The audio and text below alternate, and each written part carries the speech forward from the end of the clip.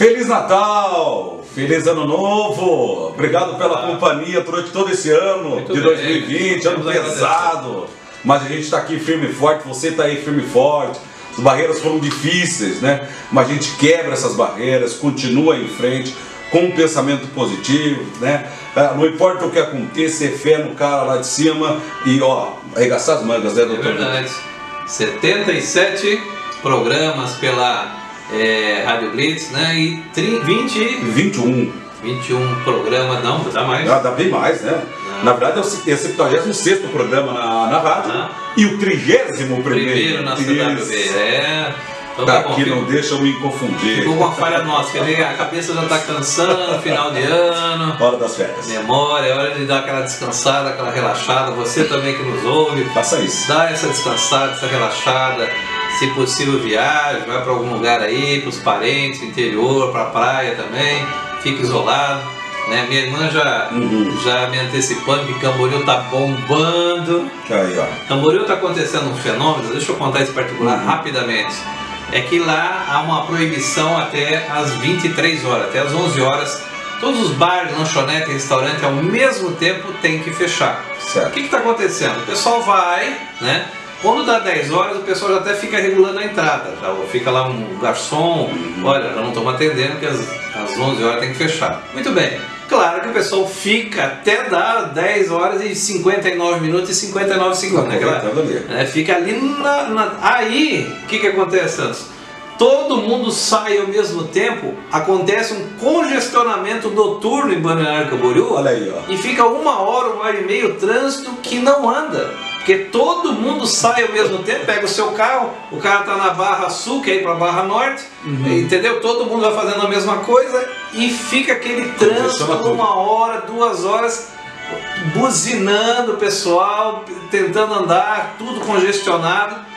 Porque a pessoa quer chegar em casa que foi de carro. Veja que, Olha que coisa, né? É uma coisa diferente. Minha irmã falou assim: olha, é uma novidade pra nós isso aí, porque todo mundo sai junto, né? O pessoal fica Não até o que finalzinho. Né? E às vezes sai naquela pressa ainda e falou: vamos tomar o resto da garrafinha rápido, rápido, toma. Ah, oh, Ele toma mais rápido porque tem que terminar, porque tem que sair às 11 horas, né? Enfim, são essas- esses acontecimentos, tá bom, gente? Do novo normal. Muito bem, vamos à coluna agora, Direito Tributário, com a doutora Fabiana Caricati. Vamos lá, doutora Fabiane, por favor.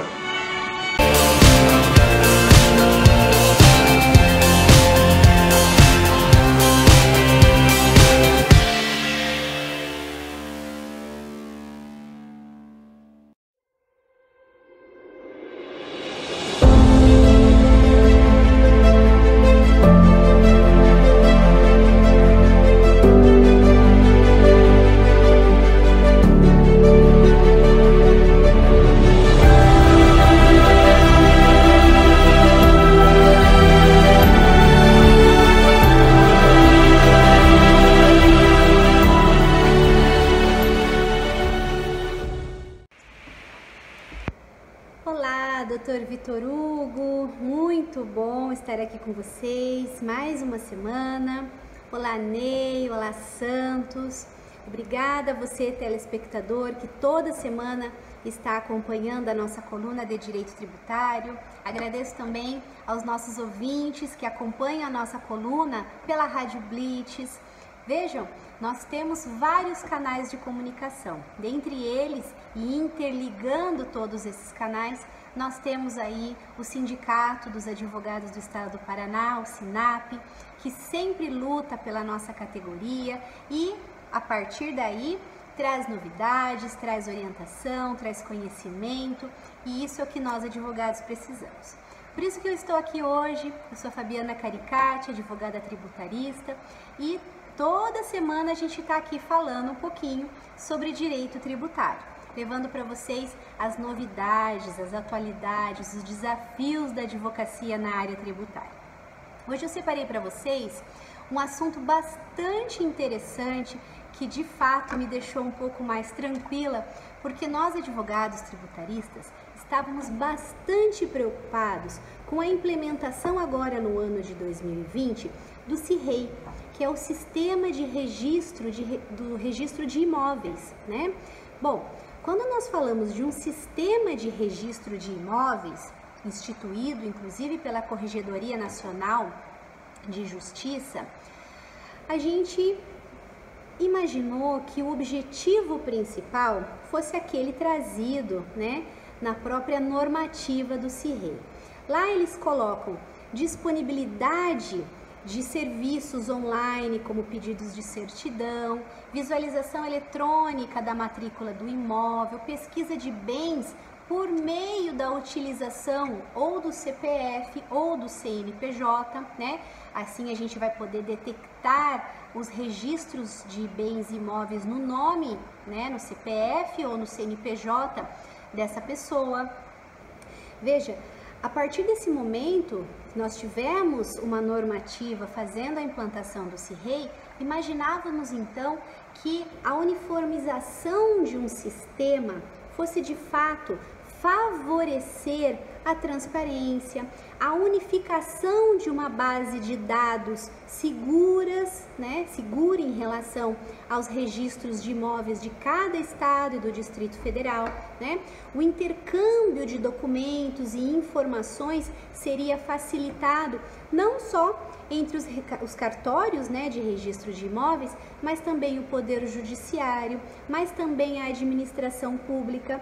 E daí quando falamos de disponibilidade de informações sobre a propriedade de imóveis para a administração fazendária, é aí que nos alertou, que acendeu uma luz vermelha ali. Poxa vida, como que a fazenda vai se utilizar do sistema CIRREI para fazer a indisponibilidade de bens daqueles devedores, aqueles que possuem dívidas tributárias aí que gerou toda uma insegurança jurídica, porque até então o que está acontecendo? Simplesmente a Fazenda Nacional, a Fazenda Pública, ela administrativamente estava declarando indisponível bens indisponíveis, bens daqueles devedores fiscais. Bom, quando nós percebemos isso, inúmeras entidades levou essa matéria para apreciação do STF. E agora, no dia 9 de dezembro, em reunião de seis ações diretas de inconstitucionalidade, o STF então veio e pacificou o entendimento sobre a inconstitucionalidade, ah, enfim, a inconstitucionalidade da indisponibilidade dos bens do devedor fiscal em esfera administrativa. Bom, existe a possibilidade de que haja essa indisponibilidade por meio de uma decisão judicial, em que o processo vai acompanhar a legislação, vai garantir o contraditório, a ampla defesa, e daí vem uma decisão judicial simplesmente decretando essa indisponibilidade de, dos bens. Por outro lado, em esfera administrativa, apesar de que em âmbito de processo administrativo nós sabemos que é, segundo o princípio da legalidade, garantido o contraditório, a ampla defesa, ainda assim tornou-se então inconstitucional essa declaração de indisponibilidade por, por diretamente pela fazenda. Mas tem uma vírgula e eu preciso mencionar isso para vocês.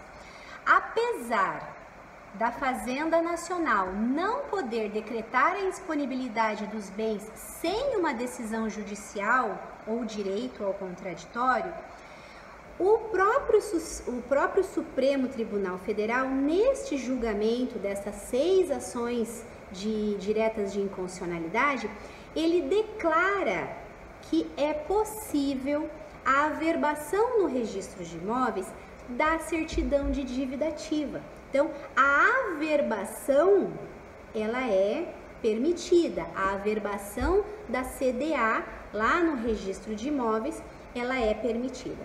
Mas a indisponibilidade administrativa, como a fazenda estava fazendo, e sendo que o próprio CIRREI veio trazer essa facilidade de pesquisa de bens em nome dos devedores, né? Essa então é uma conduta a partir de agora inconstitucional declarada pelo nosso STF.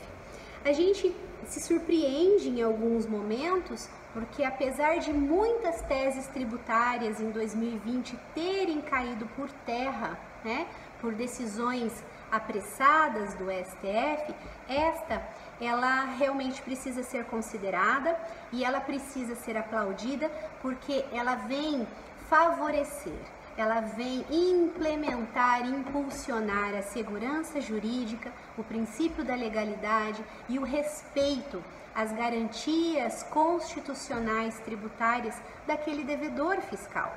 A fazenda, ela possui normas específicas, existem procedimentos específicos, dentre elas a legislação que trata da execução fiscal, do processo executivo fiscal. Então, ter uma decisão judicial no caso de uma indisponibilidade, né, da decretação de uma indisponibilidade de bens, realmente depende do judiciário. E foi nesse sentido que o STF se pronunciou.